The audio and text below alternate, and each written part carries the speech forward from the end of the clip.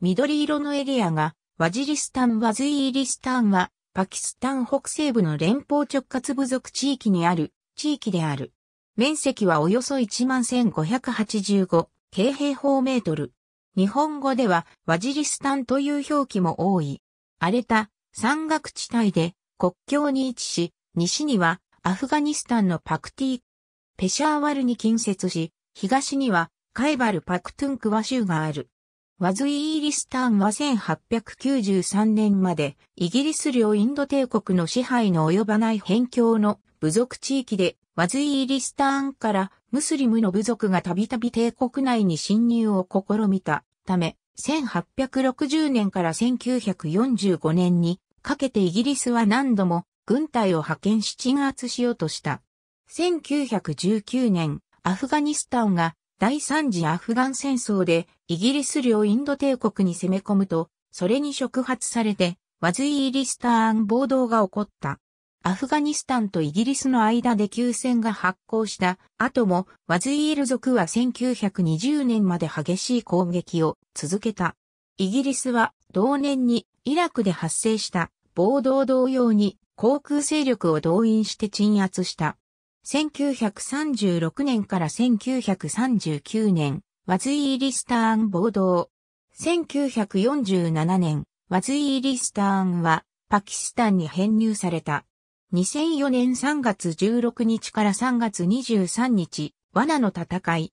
ワズイーリスターンの各部族は大会議を構成する長老を中心に男性だけによって統治され、女性は社会的な活動だけでなく、家事からも遠ざけられている。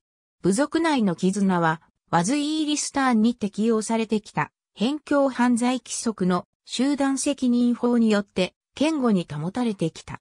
地の構想が絶えない勇ましい風土で知られてきた。北ワズイーリスターンと南、ワズイーリスターンミーランシャーの町を中心としワズイール、族に属するダーウェッシュケル族が住んでいる。人口はおよそ36万人、面積は4473京平方メートル。ほとんどが要塞化された山間の村落に住んでいる。アフガニスタンのホースト州と接し、国境の出入りは自由な状態である。タリバンなどの武装組織がアフガニスタンから来たワズイーリスターンへ越境して軍事拠点としているが、パキスタン政府との大きな衝突は避けられている。人口はおよそ43万人、面積は6500キロ平方メートル。中心となる町はワナ。パキスタンで最も政情不安な地域であり、パキスタン政府の支配だけでなく、外部勢力が侵入しワズイール族の支配が及んでいない地域も多い。ワズイール族の宗教指導者は伝統的に部族外から選ばれることが多かった。ワズイール族の他に同じパシュトゥーン人に属するマハサド族とバーキー族も居住している。ワズイーリスターン全域がパシュトゥーン人のワズイール族が住む。ワズイーリオラ語を用いる。ローソン、アラステア、ホワイブリトンズウォークドウェレリーンはシレスタン。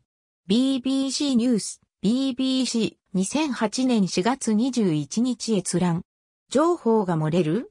ハッカニ派、パキスタン政府の総統作戦前に、脱出疑惑軍との密接関係裏付け。産経ニュース。2018年9月8日閲覧。ありがとうございます。